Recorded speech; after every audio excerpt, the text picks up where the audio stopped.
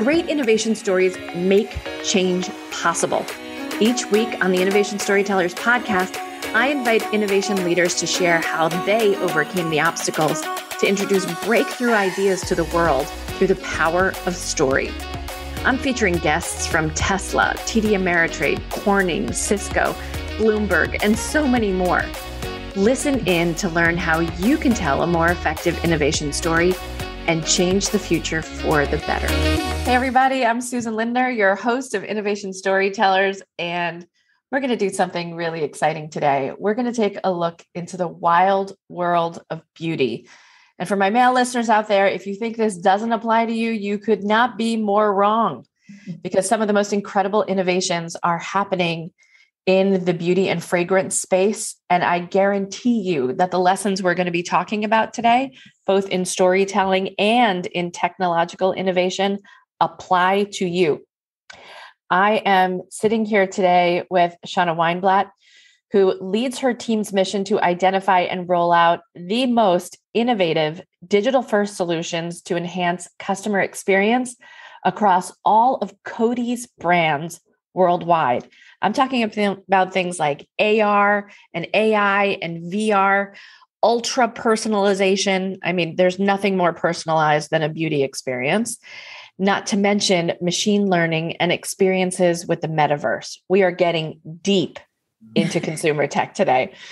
Prior to this role, Shanna led global digital programming for a small brand, Calvin Klein, and Marc Jacob Fragrances, where she spearheaded award winning campaigns as well as held various positions at the Estee Lauder companies and Trish McEvoy.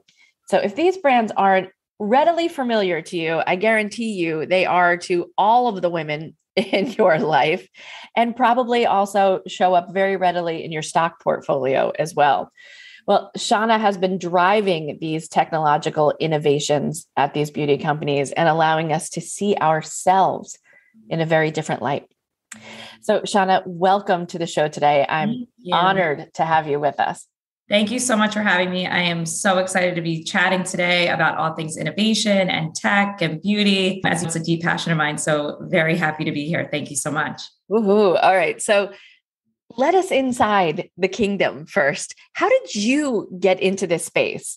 What was your path into the world of innovation? And I'll just say, my last guest was like, I worked at Apple, I work at Intel. I hate the word innovation, is how that conversation started. And I was like, okay, take us on a ride. Where do we go? So, how did you actually get there? And maybe that's the taboo word we should just stop saying. Yeah, no, I think I still think innovation is a very strong word and it's only exploding more and more. But for me, it was kind of a happy accident. So when I first initially got my footing in digital, I, I, I liken to think of it as like I was born into it almost when I was a kid. And I when computers were like just starting to become very hot, and I'm aging myself a little bit, but we were in these chat rooms, right? And like trying to figure out like how do we get free music? And this was before Napster. And so I was always kind of LimeWire, baby. Like, that's right. That's right. so I was always diving into like the deep, dark parts of the web, right? Like looking for ways to find like the new things and the new innovations. And so we were like hand trading music at the time, like way before music being able to like go through LimeWire or Napster was a thing. And then from there, I just started to kind of look at like how to code a little bit, how to get, how to send my enemies viruses. Like back in the day, you just trying to. My favorite movie was Hackers, if you couldn't tell. Ah, look at that. so, so yeah, so it kind of came naturally. And then as I went into my professional career, so jumping ahead, we, this was at a time when MySpace and Facebook were just getting started. So when I was in college, Facebook had launched we were when I was there, I was at BU. So we were one of the first people, one of the first colleges to have Facebook. And so when I started my career, brands were just trying to figure out, you know, how to build communities and monetize. And I kind of understood it right away. And so that's when I was hired at Trish McEvoy because she was like, I don't know how to, you know, kind of start this community and speak to my community and build content and do advertising in that space. Also, ecom at the time was brands were just starting to get on board with that. So I helped build her e-commerce site. And while I was there, we actually, she was grossing, I think like $250,000 a year and we grew it to like 2 million by the time I left. Wow. So I just kind of fell in. It was, it just sort of happened over time. And uh, from there, I went to Lauder, and then kind of the rest is history. And, and here I am today in, at Coty. So it's been a fun ride so give, far. Yeah, give us a little background for those who don't know Coty. It's kind of hard as a woman to go like, okay, there's no one who doesn't know what Coty is, but for the for those of us, because we have a big global audience, so tell us a little bit about Coty. What should we know?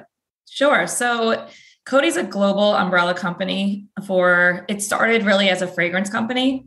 So I'm sure you heard of Calvin Klein fragrances and Marc Jacobs fragrances. So it, it, oh, it does license quite a few fragrances. And that's kind of how Coty started. I believe it had its own fragrances for a long time, but now it, it, most of the fragrances are licensed brands and some of the biggest, most luxury brands in the world Gucci, Burberry. So there's a lot of them. And then we also have a consumer beauty business. So the consumer beauty business has brands like Philosophy, CoverGirl, Max Factor, Rimmel, Kylie Jenner, Kim Kardashian. So a lot Ooh. of well-known. Do we know those people? Who are they? We don't people? know them. They're never around. I would like to offer a confession that I, I did go out with a man who told me that he was a Calvin Klein model, only to find myself walking into the main floor of Bloomingdale's and finding him standing there with a perfume bottle in hand going, Would you like to try Obsession for Men? Oh my God. Obsession for Men. I'm like, You're a spritzer boy. That doesn't actually make you a Calvin Klein model. well, I mean, listen, he sounds like he had the look anyway. So he was trying. He was yeah, trying. exactly. That's so, so funny. So yeah, brands like CoverGirl and Max Factor, Philosophy, right? I mean, these are and and there are um, men's colognes brands too, like Nautica, right, and others that we that we all know as household Absolutely. things. Absolutely, absolutely, right? yes. So here we are in this space, and we think, okay, so an innovation in the beauty space must be a formulation, right? Or maybe it's a cool new mascara brush.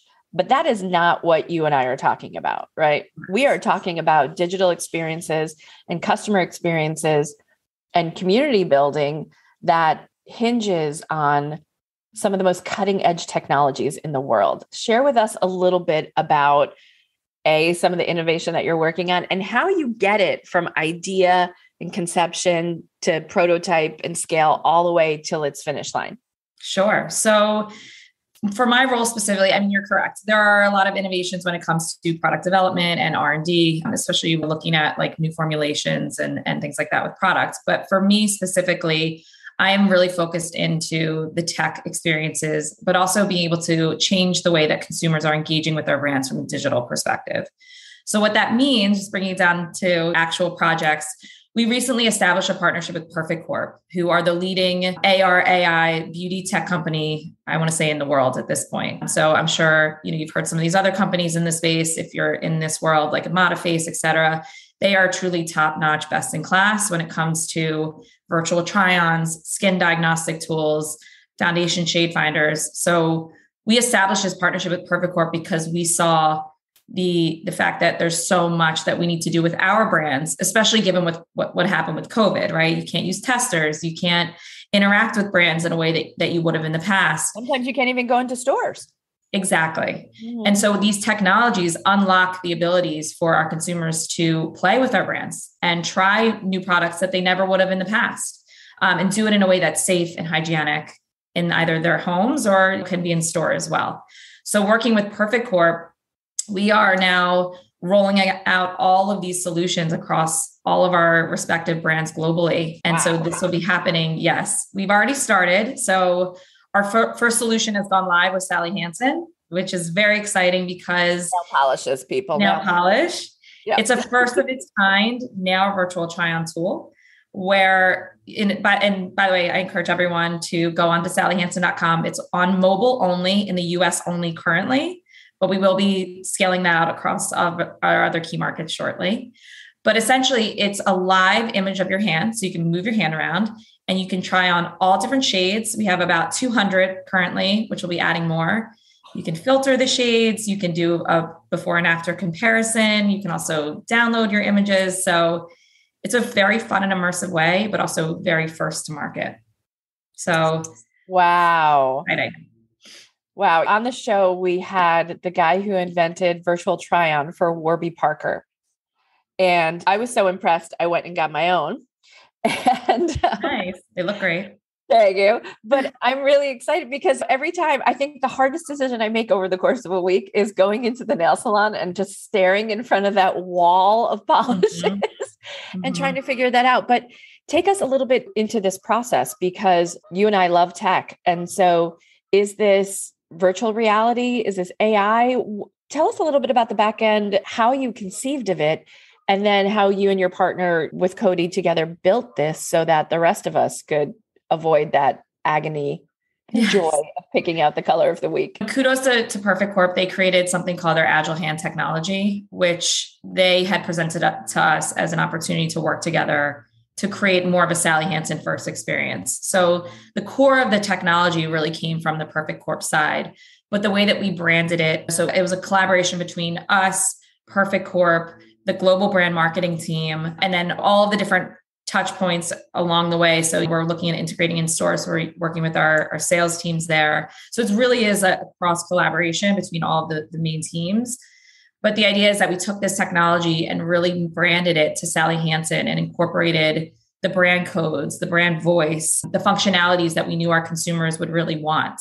So it, it although it started with the core technology, our brand expertise and knowing our consumer engagement and consumer journey, we combined the two together and really made this happen. So more to come because this is just the first pass. We're obviously looking at the data and analytics on the daily to best optimize over time. But that's kind of how we like conceived of it and then brought it all the way to the finish line.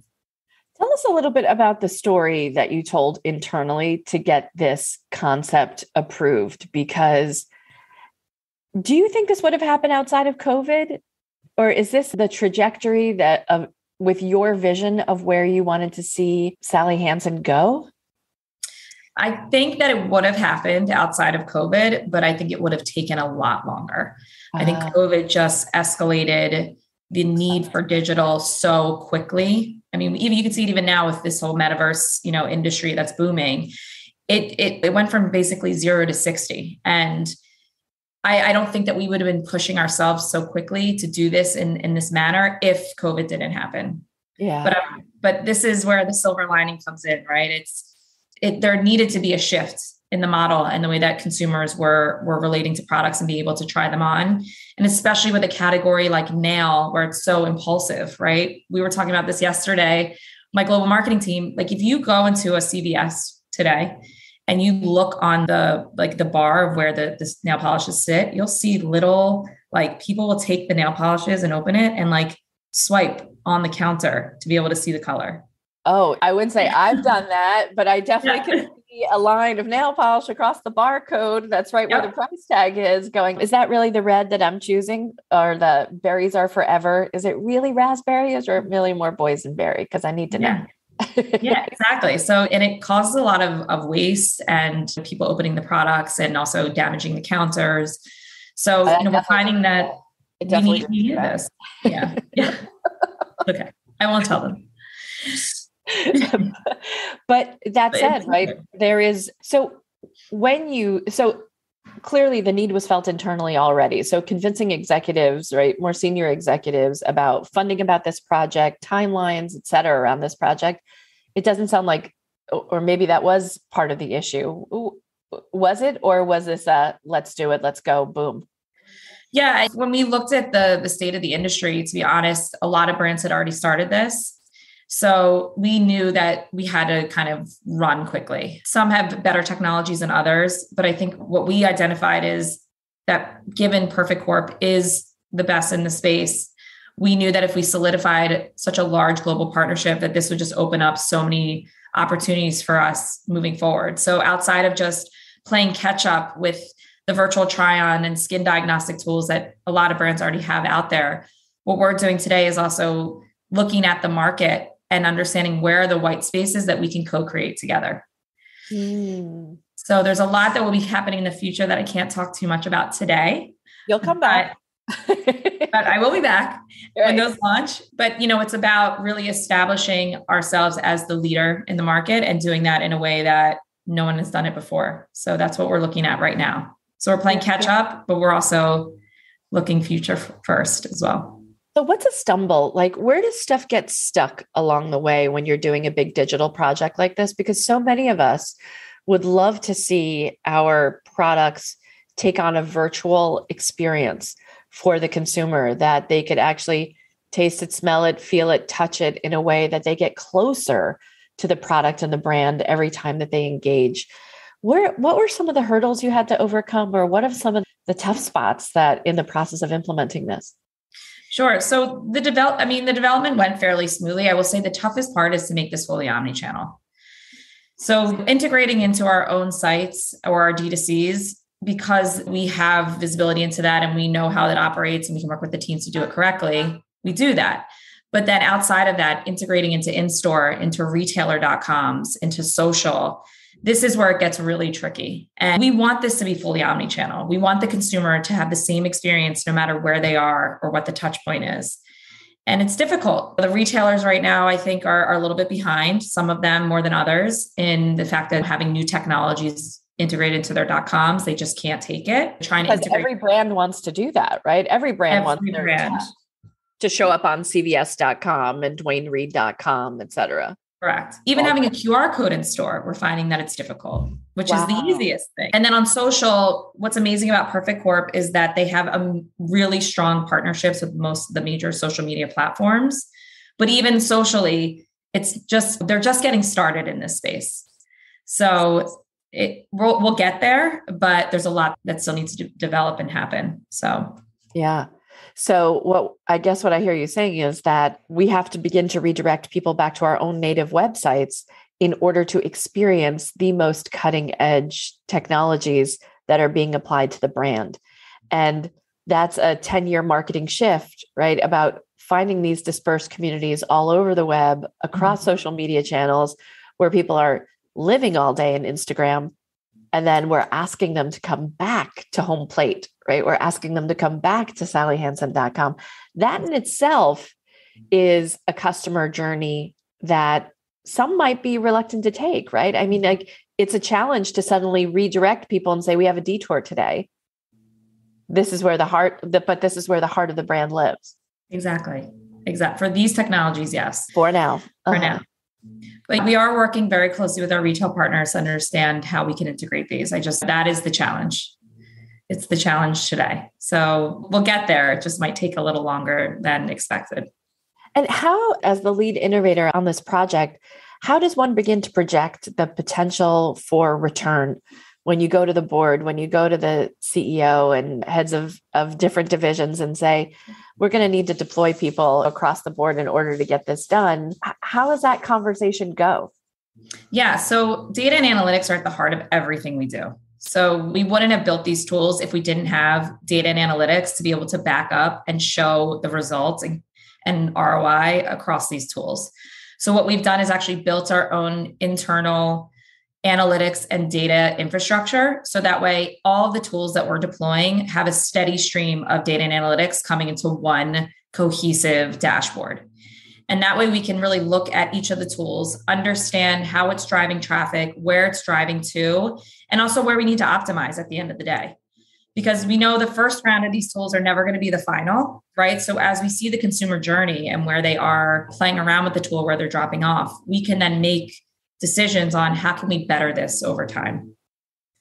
Wow.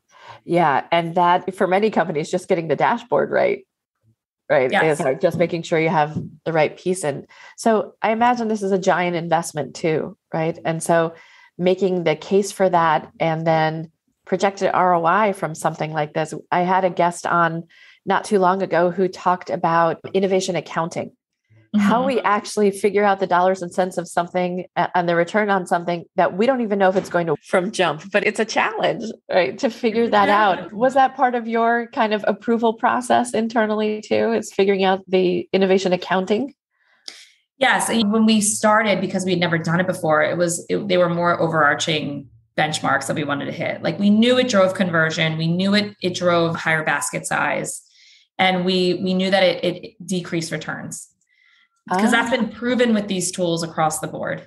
And actually, what we found is that when we launched the Sally Hansen tool, we increased our traffic to our product display pages over 100%. Whoa. Yeah. Whoa. And, and, we, and we increased the intent to purchase by 120%. Holy moly. And that was organic. That was before we even pushed media. This was just, we launched it into the press and people found out about it. So we're actually planning to launch some media in the next few weeks. And I think we'll just see those numbers skyrocket. Just pretty amazing. Yeah. Congratulations. What an amazing feat.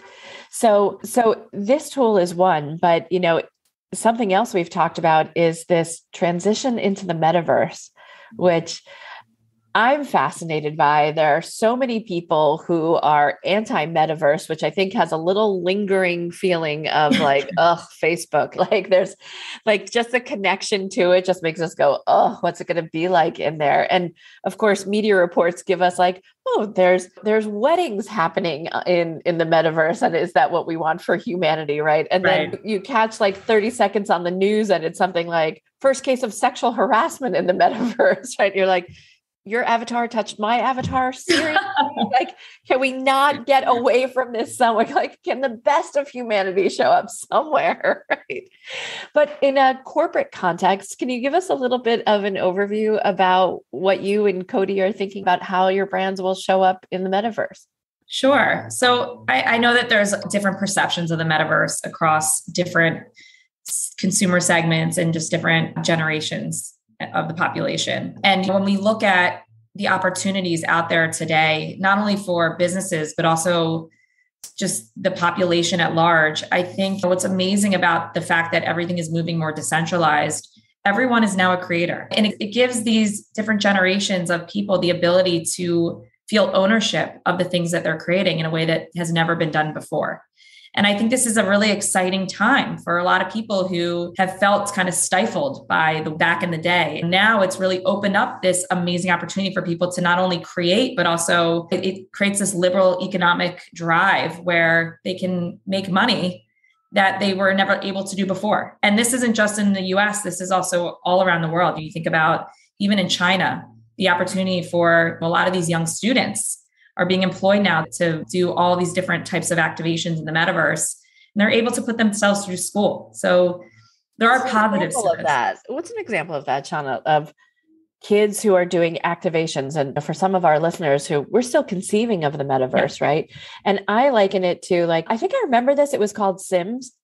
Like yes. you know, i remember certainly there there have been other iterations of the metaverse before for sure. Um, now it's just coming from one of the biggest corporations in the world as opposed to like small little video games companies who were trying to create new utopias for the rest of us Yes, absolutely. I mean, when even when you think about The Sims, right? If you put that into kind of today's format, anybody can come in and create their own digital wearable goods. Anybody can create an NFT at this point. People are starting to have occupations within the metaverse, uh, training avatars or creating wearables for avatars. And anybody can do that. If you wanted to go and create a, a new line of hats for avatars and you wanted to sell them for a specific amount, you can go do that and no one is telling you not to. And you become your own kind of entrepreneur in the space, which is incredible for a lot of people.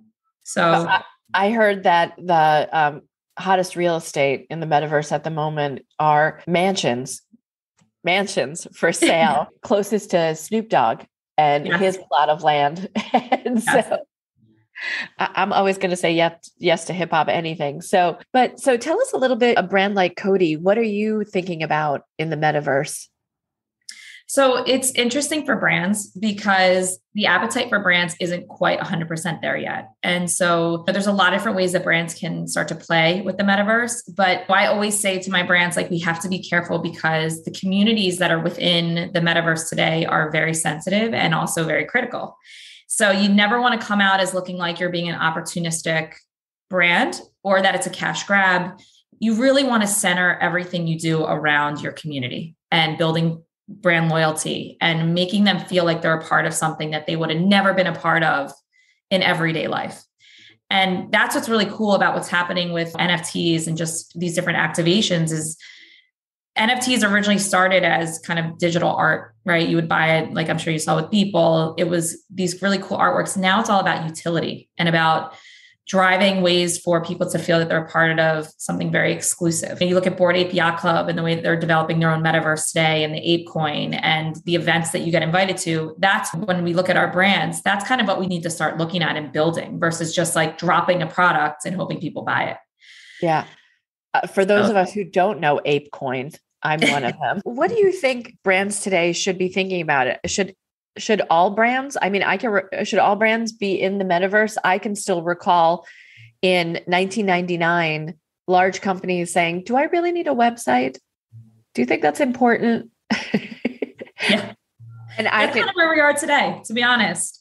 Mm-hmm. This is a bit different. I feel like it's a bit more of the Wild West because there is so much ability for the communities to be speaking to one. If anybody, you know, that's listening in has ever been on Discord and you just look at the the chats that are happening every second of the day, these are people that are connecting on a personal level, not only about these brands and the projects that they're interested, in, but just about each other. And they're using it as a way to have a voice so again, you want to really be sensitive with the, this community and all these communities that are being built.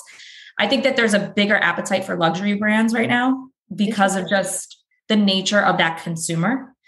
It's difficult to set up a crypto wallet. It's difficult to kind of navigate through this space at this point. It seems that the the brands that are are doing it in the luxury space have already been in this space for quite a while. If you look at like Gucci and Burberry, you, you look at some of these other luxury brands, they established their positioning in digital a long time. So it feels more native to their consumers, right? Or the people that love the brand that they're here. And there are people who actually have crypto wallets and have been trading in crypto, right? I mean, Correct. it's a different echelon of, it's a different class, right, of individuals, Correct. which is also very curious, right? Because Sally Hansen is a very day to day brand, but you yep. deal with a portfolio of brands that range from drugstore all the way to highest luxury end. Yes. So you also get to play with that expansion, right? And how we bring consumers along, regardless of their price point, through this digital experience. Correct. So that's what we're trying to, to navigate now, right? We, we know the path for these luxury brands. What we want to understand is how do we bring the masses, right? And how do we get people to not feel intimidated by this space? And again, I think that there's a big differentiation between the East and West in the East, this has been going on for quite some time, right? They started with avatars and gaming. China does this the best out of anybody. And it's and it's part of their everyday lives. So I feel like in in the East, it might be a little bit easier to kind of crack with with the larger population. The West, we're not quite there yet, I don't think, but uh, we will be. It'll be interesting to see who kind of drives that charge and leads that. You know, Shanna, I'm an anthropologist by training, and I remember going to a AAA meeting. AAA is the American Anthropological Association. not the folks who pick up your car when it gets stuck on the side of the road. Yeah. And I remember going to an academic conference, and there was a speaker who was talking about the mascotization of Asia. And it was the embracing of mascots as part of brand becomes personality. And there was a subtopic within this called the cutesification of corporate. And it was how all these amazing little avatars, we didn't call them that at the time, they were mascots, but people really embraced them and they felt a part of them, whether it be Hello Kitty or My Melody or all these different brands that um, were shown to us on the screen. It's probably a good 20 years ago now. But it, it harkens back for me this understanding of why Asia finds it easy to embrace this metaverse concept, right? Or even this avatar based concept, it was because it's been introduced from corporates who had mm-hmm. cute little pandas and cute little, you know, koala bears as part of their corporation branding mm-hmm. and their mm-hmm. connection to the consumer from day one. And some really ancient brands that found that this is always how we've communicated through cute little animals that created a connection between us and a big, scary corporation, frankly. Yeah. Exactly. And now what we're finding is it's shifting that people are using avatars to personify themselves. So, and we're starting to see this over here as well. Now you can use an NFT as your profile pictures on a lot of social media channels. It's because people are really identifying with their digital characters, right? And what they're investing in or creating. So I can only expect that this just enhances over time, that people are using this as a way of like having kind of this secondary life, right? Where I have my avatar who represents me, but then I'm also me at the end of the day, right? And bridging this digital and physical world. So it's like Beyonce and Sasha Fierce there all coming go. together at the same There you go. That's right. That's exactly right.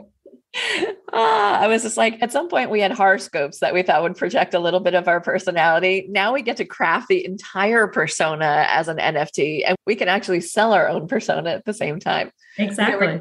we're getting quite philosophical, but it's helpful to kind of create this emotional grounding for how innovation leaders should also and digital leaders should begin thinking about how do we create this connection to our customers? And frankly, how do we bring our companies along? Coty is from an American perspective, ancient brand for us, right? I mean, it's really one of the foundational brands of um, of our time. So, and even as a holding company with so many brands beneath it, it has this range from something like Sally Hansen that we've known forever, all the way to what could be called the first avatar brand, the Kardashians, right? I mean, they are avatars in their own right. And certainly mm-hmm. Kim Kardashian had her own video game, right? And her own persona. Mm-hmm. You could play with Kim before you even saw a picture. What should we be thinking about as innovation leaders? I mean, there are a lot of B2B folks listening to us on this on this podcast, but what can we learn about how to bring the company along mm-hmm. into this digital space? How do we begin taking those steps? What should we be thinking about as innovators? So I will say that the the first and foremost step that we have taken is upskilling education, right? Like I obviously understand this space very well and I'm a big NFT holder. I've a lot of them and I've been in this space, you know, for a few months, which is not long, but in this world it is. In this context, um, you know, real estate, right? We talked about meta, yes. meta real estate at one point.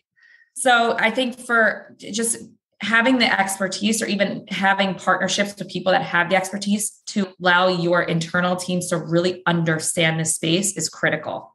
Mm. And I know it's not for everyone, right? We're not expecting 100% everyone to be able to say, oh, yes, I get it. But if we can get 50% of people within the company to at least open a crypto wallet, to at least understand the NFT market, to at least understand the infrastructure of how this is working, we're doing a good job. Because at the end of the day, you can't work on a project that you don't understand yourselves. Right. And so I think the upskilling piece highly critical that it's happening internally. And I think we're going to start to see like the shifts of ways of working. And we're so used to Teams and Zoom. I think that this is going to change a little bit over time. And I know for more of those traditional leaders, that's a scary thing to think, right? It was scary when COVID happened and we had to go remote. Eh, it's, eh, and I think at this point, it's embracing that change and not fighting it. Yeah. So it's understanding the space and embracing it and using it to better right? Your company, the way your employees are working, interconnectivity. I think there's going to be a lot of positives happening. And of course, there's always a lot of negatives. It's no different than when the internet started or when social media started. But I think that you have to understand it at the end of What would be like a baby step of a, I would say, like an experiment or prototype engagement that maybe you undertook to see like let's do a little testing of the waters to see what worked. I mean clearly you had luxury brands to see what was already working elsewhere but what would be a good way to start? Yeah so a lot of our brands have their first footing was in gaming. And i think that's a great place because there's not a long-term commitment there. And it allows you to kind of seek out the space and see where the consumers are and I, it depends on what the activation should be. But that to me seems like a bit lower barrier of entry versus trying to build a whole community from scratch. So I, I feel like the gaming industry is a really interesting place to kind of start and take a look at. Yeah. And that in itself can be a scary place. I say that as a son who majored in game design at RIT. yes those conversations yeah. alone, you try getting into a Dungeons and Dragons game and see what happens, or getting into a World of Warcraft space. Yeah. what I what I tell my brands is it's very important to understand what are your objectives, right? What are your KPIs? And, and it shouldn't really be a moneymaker right away. It should be about just building brand loyalty and building brand conviction in the space, right? Why do I have the right to be here? So, and doing it in an authentic way. So that's like first and foremost. What are your objectives? What are you trying to get out of this? That will then ladder into where should you based off of your objectives where's the right place to kind of take a step forward? Keeping in mind that there are challenges right? It's not for everyone. It's not for every brand. You might fail. You might piss some people off along the way. So really taking into all of those pieces into account and understanding like what is your roadmap? What can you see like hold up your crystal ball a little bit for us Shanna because i feel like you are really at the edge of doing really cool stuff. What do you think is this buying space is going to look like in beauty for us over the next three to five years? What will our mm-hmm. buying experience look like across the board without divulging too much of what's in your product roadmap right now? Sure. I think it's going to be interesting. I do think that beauty brands are going to find a way to bridge this physical and digital worlds. And I think that when you look at just the ways that even the metaverse fashion week that's happening starting tomorrow, actually on December. What metaverse fashion oh. week? Yeah. Oh. So starting tomorrow in Decentraland, everyone can go. There will be the first metaverse fashion week, and there's a lot of major brands that are participating like Gucci, Pucci, Prada, Chanel kind of brands? That not quite yet, but oh. but there's Elie Saab, there's Etro, Dolce and Gabbana. I mean, there's some very notable, great brands that are participating this year. Fantastic! Wow. Yeah. So when you look at that, and that's already happening, right? They're building what they've built in Decentraland is kind of this fashion road. So all these major brands can have like their established places. I think eventually that'll happen for beauty as well. There's going to be a positioning for beauty where people are going to come to a, a, place in the metaverse to interact with specific beauty brands. And I can see beauty advisors becoming avatars, right? And actually giving advice one to one as your avatar and them. I think virtual try on will eventually be integrated in a certain way. I definitely think commerce is going to end up being integrated there as well. So at some point, you won't have to go to a Sephora. You can go to Sephora in the metaverse and be able to see all the products like you typically would. So it's going to be an interesting journey over the next few years for sure. You know, it's funny when I'm giving workshops on on innovation, I often people say, "Well, I'm just breaking through. I I don't have any competitors." And I often ask people like, "Well, who is Google's biggest competitor when they first launched?" And nobody knows the search engines that preceded that. And I was like, "Well, yeah, it was the library." I was like, the only difference was you actually had to put on pants to right. do back in the day. And you won't have to do that anymore. And so exactly. we're really just headed to a pants free society. That's what I'm understanding is that we can pretty much try on virtually anything at home now. Yeah. So do you think, do you think that these head headsets that we have to use for VR are for virtual reality and that kind of expression at the moment are big hindrances to that adoption? I think those are for specific use cases. I don't think that's I mean, I maybe I'm wrong, but I can't ever see that being like fully adopted by everyone. To me, it's much more of a there it has to be very specific as to why you're using those. I don't foresee like everybody kind of walking around with these things on their face forever. So I see like Mark Zuckerberg recently announced his partnership with Ray-Ban that they're coming out with these vir- virtual reality sunglasses. Like that to me maybe more but we've seen Snapchat try to do this in the past with their glasses, right? And it didn't it wasn't adopted. So or Google Glass, right? And everyone Google was called Glass. a glass who wound up wearing their glasses. exactly. yeah. Like I think that there's going to be a limit a little bit to like how immersive it's going to get, but I think with the headsets, it's great for gaming and it's great for experiential if you're in the comfort of your own home. Yeah, so. I went to a museum exhibit and tried on one of those virtual reality goggles and I could fly like a bird. I, I, don't do well on a roller coaster. I was screaming. I was like, I'm crashing in. I like crashed into the Grand Canyon in my virtual reality goggles. Like, this is terrifying. I'm not ready. it's very lifelike. I actually, so we're, there's a company that we're speaking to and they, they are amazing. I can't tell you who it is today, but it's very lifelike. And they put me on the top of the Empire State Building, or maybe it was the Chrysler building. And I was like on one of the gargoyles and he's like, walk forward. And I'm like, no, he's like, nothing's gonna happen to you. I'm like, I my legs legit will not move. Like it feels like you're actually there. Your stomach's in knots. It's crazy.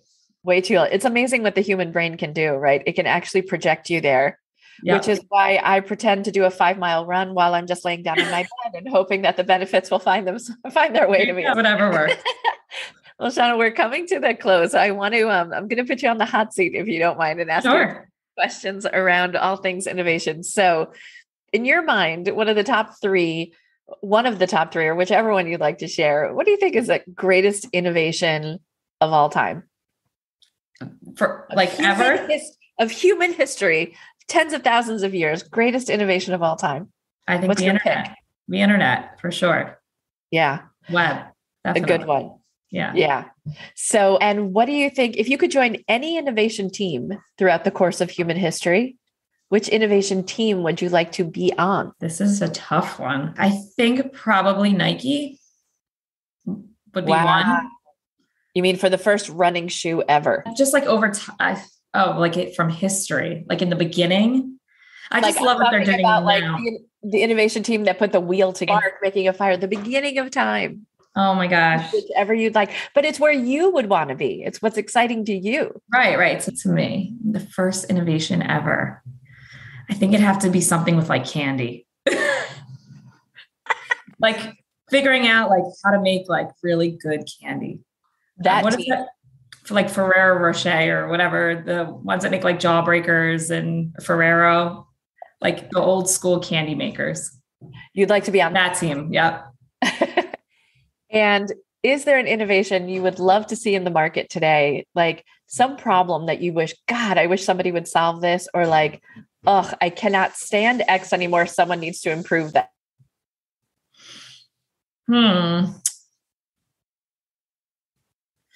I mean, I think that there's going to be a really interesting what so just like and maybe this is not the best example, but I think that there's going to be a very interesting group of people that are going to start a consulting company to get people started in setting up crypto and like helping people kind of guide them through that journey. And I think whoever figures that out, like from like a basically like kind of hand holding in a way, consulting, I want to say, whoever figures that out and can like monetize that will be a very rich person. So hint, hint to every, anyone listening to this call. yeah, the next Charles Schwab of crypto. That's going to be yes, yeah. sort of like that. Yes, but a little more like actually being able to to walk them through it step by step, so they can figure this out. Yes, I guess yeah, like a Charles. Or the creator of the first crypto mutual fund. Yes. You and me, baby. Let's do it. Yeah, let's do it. I'm ready. Get rich. Shanna, thank you so much for joining us. I can't wait to try on 200 shades of, of nail polish Please do. on sallyhansen.com. And I can't wait to have you back and we can talk about all the advances you're going to be making in the metaverse. Absolutely. I would love to. Thank you so much for having me. This was so much fun. Such a pleasure. Thanks so much, Shanna. Have a great one. All right. You too. Bye. Now you might be asking, Susan, why innovation storytelling? Well, the truth is that an innovation story told well not only breaks down communication barriers so you can drive change and new growth, but it also helps other people remember and champion your work. And it propels your best ideas forward faster to secure you the runway, resources, and recognition you so richly deserve. In other words, stories are memory making devices that significantly reduce the time it takes for you and your innovation to be understood. But like many leaders, you probably never got the memo that storytelling skills would be central to your success. Well, I've got some good news for you. It's not too late because I've got you covered. Whether you need an expert to come and speak to your innovation leaders, you need training in the art and method of innovation storytelling, or you just need the support and guidance of a consultant who can get you where you want to go in less time, visit www.susanlindner.com today to learn more and to set up a call to discuss your needs. I'm so looking forward to connecting with you and to helping you tell a great innovation story. If you liked what you heard so far, don't forget to subscribe so you never miss another episode. And leave us a comment. Tell us what you think of this episode. We'd love to hear from you. And if you didn't like what you've heard, just forget everything I've said.